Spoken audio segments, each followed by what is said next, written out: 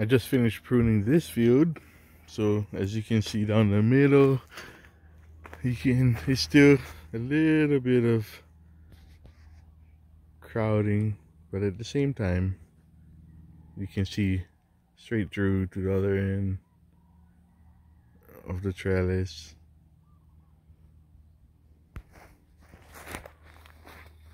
And from the outside we can see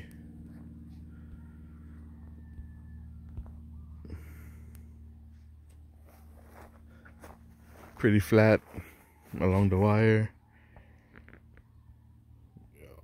Pruned off all back down to pretty much the the first node which is you know I'd prune it back down to here or like this one. I left it on because it was short to begin with.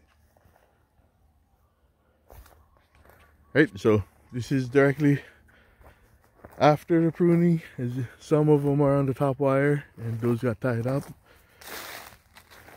There's always going to be late season mangoes on some trees. You just kind of work around them and I'll probably go back later after drops his fruit and yeah. And this side is the unpruned side what I'll be working on today. As you can see a lot more a lot more off the trellis, a lot more rounded canopies trying to form as opposed to this side now nice and back and flat. Here's a Keitt mango that is so Florida often describes the Keitt mango as a moderate grower or even Australia as a moderate grower but man for us in Hawaii Keitts are vigorous growing grow twice as fast as Nam Doc Mai, which itself is a slow growing mango here.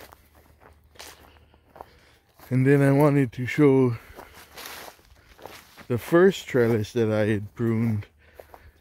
and it's now about uh, three, four weeks, uh, three, two, two to three weeks since I pruned this guy up. And uh, it's got its new flush and uh, it pretty much looked exactly the same as as the trellis that I just showed the first one that I just had pruned finished pruning yesterday. It looked the same as far as its flatness after I had done got done with it. And you can see it flush pretty heavy flush already. And just like that just with that one flush the canopy is right back to nice and green. Got a lot of new shoots to work with. Uh, I'm gonna have to come in and do a tipping now. And because it's only uh, the beginning of September and uh, it's gonna flush maybe two more times before it goes into that dormancy period. But uh, look it's even trying to throw out some more flowers on this flush. First flush after pruning and it's already trying to draw out more flowers but just a little bit. So two to three weeks after pruning you should get a flush.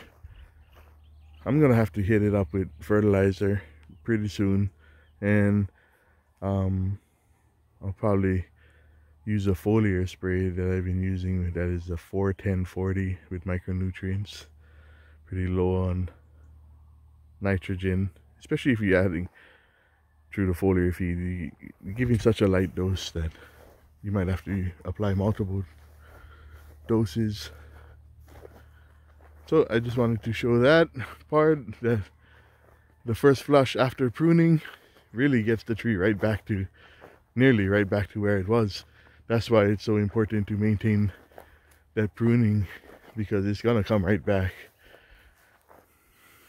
and I'm gonna have to do it a couple I'm gonna have to now tip a couple more times to just keep the the branches from getting too long because once they get so long they're just and then they'll flower and just go straight to the ground.